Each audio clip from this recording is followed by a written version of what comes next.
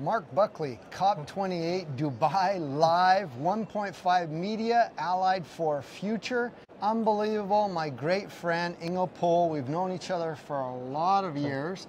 We always see each other at COP and in Thailand, as a Yeah. matter of fact, which is an amazing thing. Yeah. Please introduce yourself, why you're here at COP, Yeah. and, and kind of what's going on. Yeah. Yeah. So my name is uh, Ingo. I live in Thailand. That's where we meet each other. My first COP was COP1 in Berlin. So I'm a veteran to this. Uh, when I first came here, I came to observe the negotiations. You know, uh, very much, very much cared about kind of like the rulemaking part of it.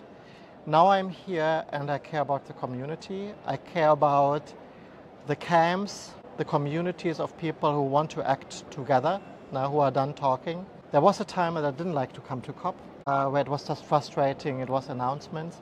Now I love being here because it's people who act, who are, who are, back, who, are back at scale, and uh, who provide a lot of inspiration.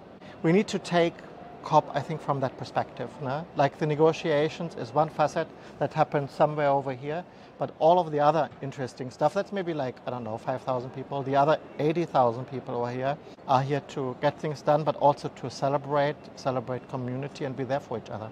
Absolutely, and I love that. We we have a session tomorrow at uh, the Global Innovation Hub. We sit on the Health and Nutrition Board Yeah. together, and we'll have a nice panel meeting in, in the pavilion. So look out for that. The UNFCCC Global Innovation Hub Yeah. Pavilion on health and nutrition. We we actually that's how we originally met. It was at a side meeting in Thailand. Yeah. and, uh, uh, on uh, food, food Innopolis, Yeah. I believe, that's right. uh, actually.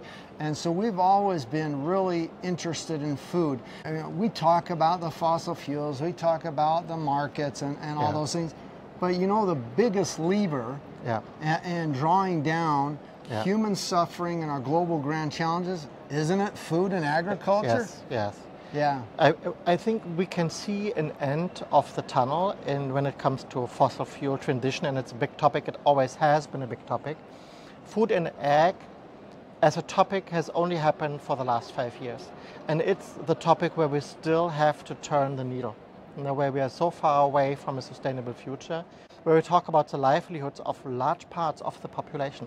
I mean, take this jacket, no? it's from northern Thailand. It's in northern Thailand where a lot of the food is grown, a lot of the feed is grown that we then eat in the form of chicken, right? That contributes to a lot of problems. But we should be very careful when we go to those communities to think that these are the problem makers. You know, we should look at them as a solution providers. We need to integrate them into that process, respect culture, and drive change on a basis of a human-centric understanding for change, right? And my hope is actually to COP to become more human-centric. Put more Burning Man into COP, I say. I love Yeah. it too, and I'm, I'm with you on that mission, Yeah. absolutely. That's the lever. This is also the biggest food COP we've ever had Yeah. in history. Sharm el Sheikh COP 27, we were there, Mm-hmm. uh, about five, six, maybe seven pavilions and a lot of side events around food.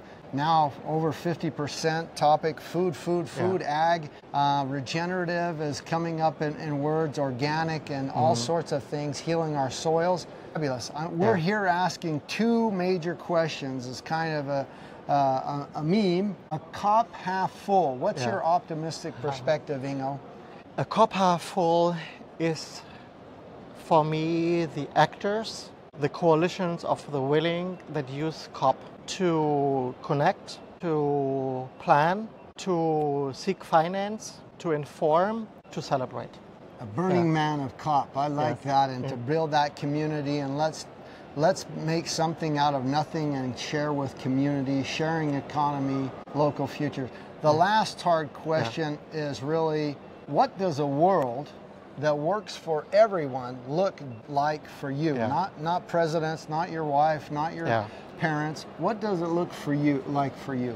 You know, actually, it's a question to which it's hard to come up with a spontaneous answer, which is shocking, because this should be actually the first thing in my mind coming here. That we know what we what we do it for, right? And I think it's it's a world that has less poverty, ideally no poverty. It's a world where we meet each other on eye level. Back you know, without respect for, let's say, socioeconomic status, that is based on the realization that we are on this together, that we are sailing on the same boat in a very big universe.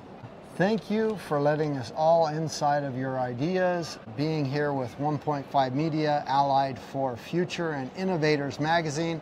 Mark Buckley, Ingo Puhl, live here, COP28. Much success for our meetings tomorrow on the RESAP. Bye bye. Thank you.